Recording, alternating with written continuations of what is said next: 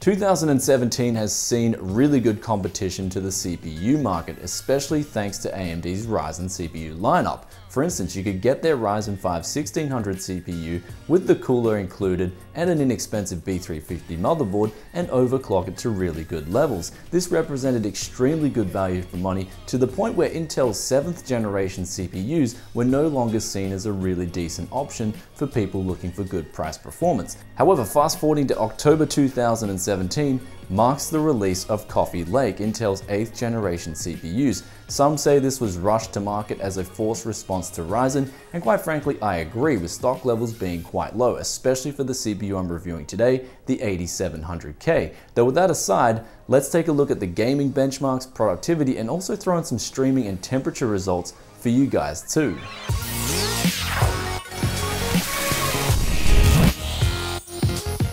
Welcome back to Tech Yes City. This is Bryan coming to you guys today with the 8700K review. Now, you guys have been hitting me up on Twitter and comment sections and other threads requesting I get this review out, and I would have got it out sooner, but there was a big mix up in my supply. However, ASRock did come through with a motherboard and also an 8700K, both of which I'm using in today's review. So, big thank you to ASRock. We got the gaming i7 Fatal1ty motherboard on display, rock solid board, really good for overclocking. The VRM temperatures are good as well, which I'll show in an upcoming video. But with that aside, you guys probably want to know how this thing performs, all BS aside. So let's take a look at those numbers.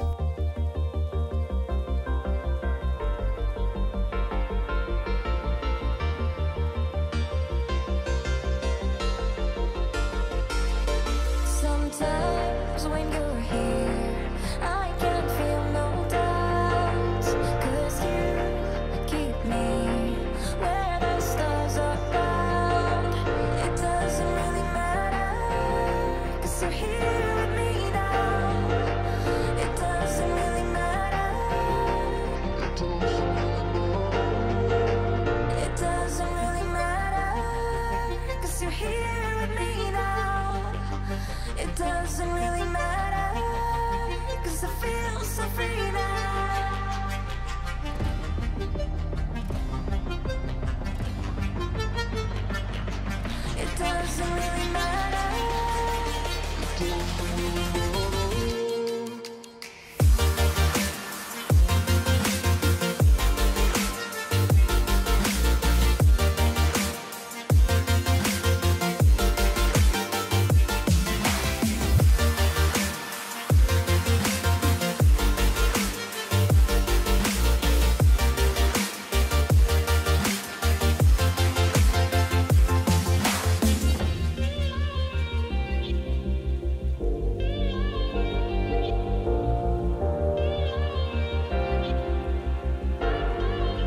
So as you guys just saw in those benchmarks, the i7 8700K is legit. This thing is really kicking it to the competition and it's even cannibalizing Intel's own CPU lineup.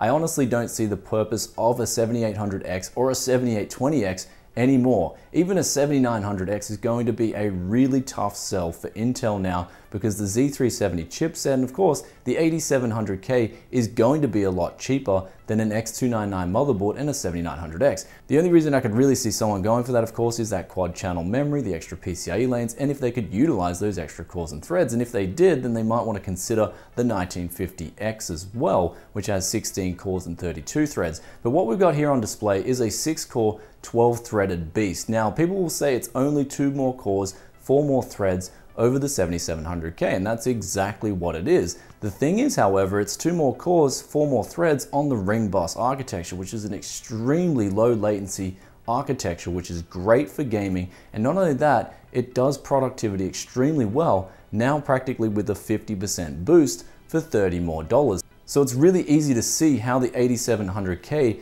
is extremely relevant in 2017. I like to think of it as the new 5820K. When that was first released, that was extremely good value for money. The only problem back in 2014 was that games didn't need 6 cores, 12 threads. Fast forward that to 2017, games can now utilize those extra cores and threads, and of course that balance with productivity Makes this a serious contender not just for gamers, but also for people who are doing productivity as a best in slot CPU. As we can see with that Adobe Audition benchmark, which is still a single threaded test, the 8700K was winning those benchmarks. Now there's other things that I do on my computer like Photoshop. What about boot times? Everything's going to be faster when it comes to single threaded performance with the 8700K. That's something that the competition and even Intel's higher end lineup of CPUs can't currently match which is why the 8700K really is a shining star, despite all the negative attention it's getting and of course the dodgy things that Intel do as a company. But on that note of dodginess, Intel, I don't know how many times I have to say it, please stop using thermal paste to connect the die to the IHS. People in my comments section refuse to buy your product just because you're simply doing this. And I'm sure it would only cost you a little bit extra to implement this on your CPU. You could even charge this onto the customer for $364 instead of $360, and I'm sure people would be glad to pay the difference. I know I definitely would instead of having to run down, delid the thing, buy some liquid thermal paste and then drop it on there and hope and pray that it runs better. And also on that note, I've just voided my warranty.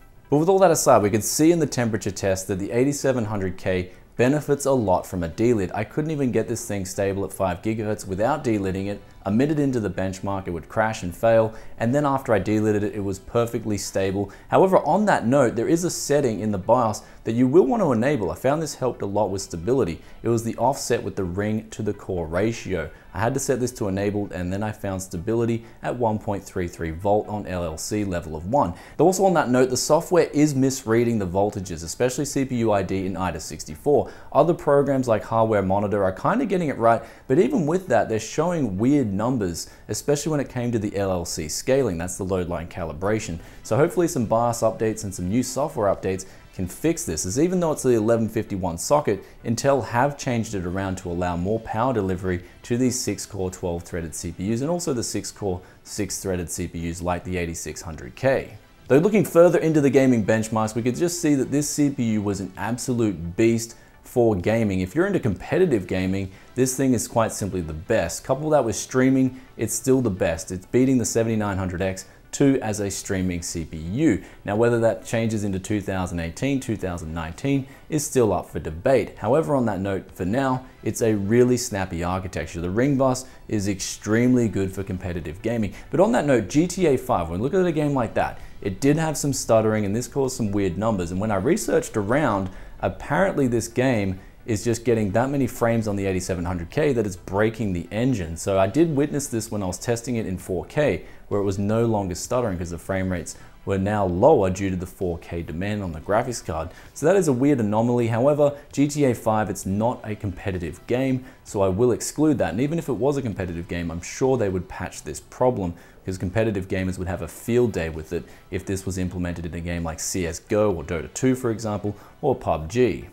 Though moving on into PUBG, it was actually this CPU that made me realize that this game had a hard lock in the frame rates. Of course, PUBG did recently get a patch as well for better utilization of CPU cores, so it was probably this patch coupled with the 8700K that made me realize this. However, the 8700K is the best for PUBG players, both streamed and non-streamed benchmarks. Moving on into Dota 2, extremely smooth we were getting near 240 FPS a lot of the times throughout playing this game and also even in heavy battles it was really only dipping down to like 170 180 FPS so it was extremely capable especially if you're a competitive Dota 2 player. Looking at CSGO again the best frame rates I've seen yet I showed just how powerful this thing was with some plays in CSGO in my recent build video, so if you want to check that out, I'll put a link in the description below. And also another game that really stood out was Far Cry Primal, of course. This game really is related to a CPU's latency, I find. The better the CPU's latency is with the latency controller and built into the CPU itself, the better frame rates you generally get. Of course, coupled with IPC and other things like clock speeds, this can give you a result that can vary quite greatly from CPU to CPU. Though that last benchmark, of course, that I'm going to pull up for you guys is F1 2016 4K. We can see here, practically no difference if you're playing at 4K. So it doesn't really matter what new age CPU you use for 4K gaming, any CPU will pretty much be fine as the graphics card is getting really stressed at 4K. This is with a GTX 1080 Ti. So if you guys are casual gamers and you just care about getting a really good experience, then of course something like a Ryzen 5 1600 B350 motherboard and stock cooler is going to be great value for money and then you can go spend extra money on a graphics card. However, if you guys want the best frame rates possible and you want a CPU that will last you for a couple of years, then the 8700K is a serious contender for your money. Of course, you have to get a Z370 chipset, which is more expensive than a B350 motherboard, but on that note, you will have to get a better cooler as well, because at 150 watts, this thing does demand a decent cooler. I was using the H110i from Corsair, it does a great job, and as I stated before, I had to delid this CPU, which you don't have to do on the Ryzen CPUs. So now it's time to conclude the video with saying out of the big three companies, Intel, Nvidia, and AMD, it seems like Intel does pull the most shadiest stuff out there. Though with that aside, this poor 8700K, he was brought into this world, he didn't have a say, and I'm just gonna review this CPU on its merits itself. And what you're getting if you can pick it up for 360 US dollars, which is a different topic altogether, on its retail price, 360 USD, it is one beast of a CPU. For me personally, it's the best in slot out there by far. It's a really fast CPU, it's extremely snappy. For doing my Adobe Premiere work suite, it's extremely fast. And not only that, the gaming numbers as well. For gaming, this thing is just extremely fast too. So it's one of those CPUs that's hitting really hard for its price. And coupled with the Z370 motherboards, you can pick them up for around about $120. That's the ASRock Pro 4, and that'll do a pretty good job of overclocking too. Of course, I did use the gaming i7, which does have better MOSFETs and a VRM on board as opposed to the Z370 Pro 4. But with that said, it won't give you that big of a difference as it's still only using 150 watts. It's 50 watts more than the 7700K and it's got 50% more cores and threads. So the power consumption is scaling quite similar to the 7700K. Though on that note, it still does use more power than an 1800X, so it is technically less efficient at 5 GHz versus 4 GHz on an 1800X. Anyway guys, hope you enjoyed today's review. If you did, then be sure to give it a big thumbs up and let me know in the comments section below what you think about the i7-8700K. If it was in stock today, I mean it seems to be sold out everywhere, would you buy one? If not, why? If so, why? Love reading your comments and thoughts as always, and I'll catch you in another tech video very soon. Peace out for now. Bye.